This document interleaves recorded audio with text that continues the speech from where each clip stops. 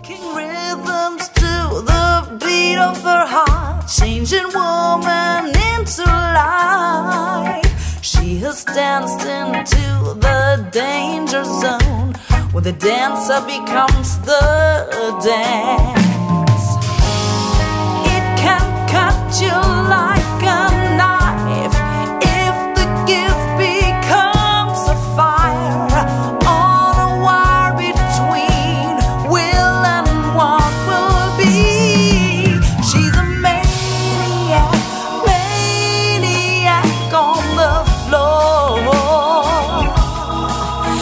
She's dancing